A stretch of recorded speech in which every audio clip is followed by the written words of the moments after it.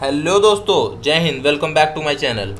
दोस्तों, आज मैं आप सबको डी का जो the biggest off campus hiring drive हुआ था सॉफ्टवेयर डेवलपमेंट इंजीनियर के लिए, उसके रिगार्डिंग फुल इन्फॉर्मेशन लेकर आ गया हूँ।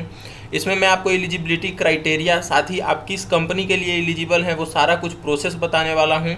कौन कौन से नंबर के स्टूडेंट जो आपका स्कोर कार्ड है 100 नंबर टू 400 मार्क्स मीन्स कितने से लेकर के कितने तक, किस कंपनी के लिए एलिजिबल है फुल इन्फॉर्मेशन देने वाला हूँ। वीडियो को एंड तक देखिएगा। साथ ही आप अपने इस चैनल न्यूटेक वर्ल्ड को सब्सक्राइब कर दीजिए फ्रेंड्स क्योंकि मैं यहाँ पे डेली नए नए जॉब्स प्रिपरेशन से रिलेटेड अपडेट्स लेकर आते रहता हूँ। बहुत सारे स्टूडेंट्स का क्वेरी आ रहा था कि कितने मार्क्स पर कौन सा कंपनी में हम एलिजिबल होंगे, क्या किसी कंपनी में इंटरव्यू करने को इंटरव्यू का मतलब चांस मिलेगा भी या नहीं मिलेगा, क्योंकि बहुत सारे स्टूडेंट्स का मार्क्स कम आया है मीन्स बिलो टू हंड्रेड आया है, और जिनका टू हंड्रेड भी है, उनके लिए भी एक मतलब पूरा फुल अपडेट लेकर आ गया हूँ। अगर किसी तरह का कोई क्वेरी है तो आप नीचे कमेंट कर सकते हैं, साथ ही यहाँ पे इंस्टाग्राम लिंक दिया हुआ है, आप इंस्टाग्राम से भी जुड़ सकते हैं फ्रेंड्स अपने दोस्तों के साथ में ज़रूर वीडियो शेयर कर दीजिएगा चैनल को सब्सक्राइब कर दीजिएगा फ्रेंड्स तो चलिए स्टार्ट करते हैं।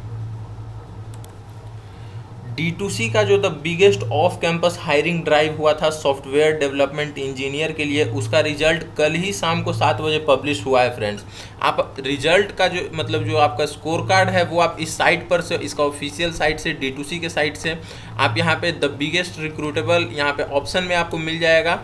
डी टू सी रिक्रूटेबल्स इसमें से आप जाके क्लिक कर सकते हैं। यहाँ पे जैसे ही आप लॉगिन करिएगा तो आप नीचे आइएगा स्क्रॉल करके तो आपको यहाँ पे आपका स्कोर कार्ड मिल जाएगा।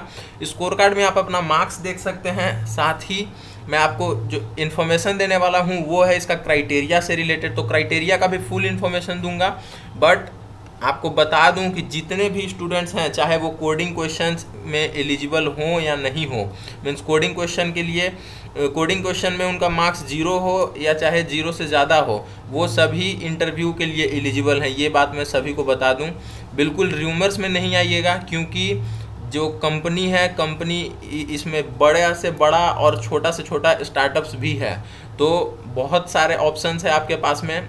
बस आप वीडियो को एंड तक देखिएगा, अपने दोस्तों के साथ में शेयर कर दीजिएगा फ्रेंड्स अभी जितने भी स्टूडेंट्स हैं, जितने भी कैंडिडेट्स हैं, जो एग्ज़ाम दिए हैं, उनके पास में एक मेल आ गया है, इसका कंपनी का शॉर्ट लिस्टिंग क्राइटेरिया और जो आपका स्कोर कार्ड है उसके रिलेटेड आप देख सकते हैं यहाँ पे जो मेल है, उसका हेडलाइन है info on D two C recruitable scores and company shortlisting criteria and timelines तो मैं इसका इन्फॉर्मेशन आपको देने वाला हूँ। जो मेन इन्फॉर्मेशन ये है कि जो कंपनी का क्राइटेरिया है, वो इस अकॉर्डिंग सेट किया गया है कि जितने भी स्टूडेंट्स हैं, वो सभी किसी न किसी कंपनी में इंटरव्यू के लिए प्लेसमेंट्स के लिए एलिजिबल हैं।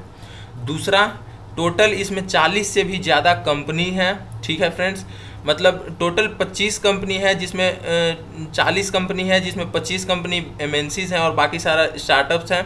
तो आपके पास में बहुत सारा ऑप्शन है। तीसरा जो शॉर्ट लिस्टिंग क्राइटेरिया है, वो बहुत इजी है और बहुत मतलब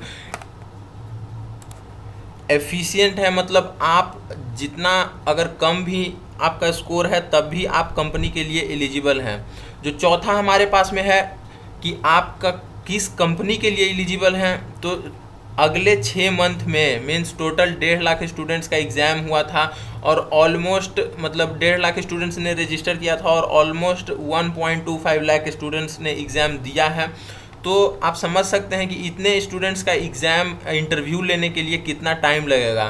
तो इसी, इसीलिए कंपनी के तरफ़ से डी की तरफ़ से टोटल सिक्स मंथ्स का टाइम पीरियड यहाँ पे शेड्यूल किया गया है। आगे ट्रेनिंग के लिए सॉरी इंटरव्यू के लिए और टेक्निकल इंटरव्यू और एचआर इंटरव्यू के लिए। तो इसी हिसाब से आप समझ सकते हैं, अंदाज़ा लगा सकते हैं कि जितने भी स्टूडेंट्स हैं वो सभी किसी न किसी कंपनी में जाने के लिए एलिजिबल हैं।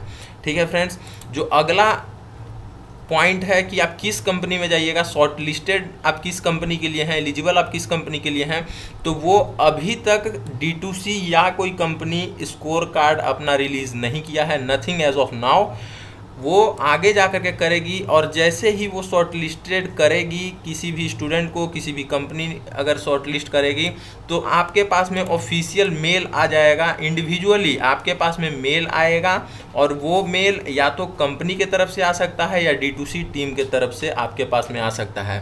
तो ये रहा फुल इन्फॉर्मेशन आप सबके लिए अपने दोस्तों के साथ में ज़रूर शेयर कर दीजिएगा।